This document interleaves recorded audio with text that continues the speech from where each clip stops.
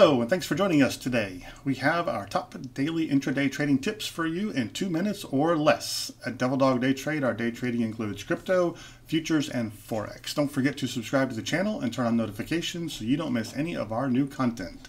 Let's get started.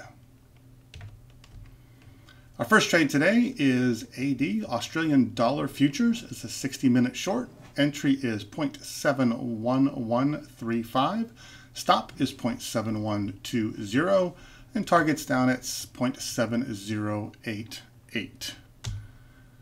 Our next trade today is CL. This is crude oil futures, 180 minute long. Entry is 90.11. Our stop is at 89.92 and target is 90.88. Our last trade is double entry. We've got NQ, so NASDAQ futures, 4,800 share bar short. Entry one is 14,772.25 with a stop at 14,791.5 and target one's at 14,659.5.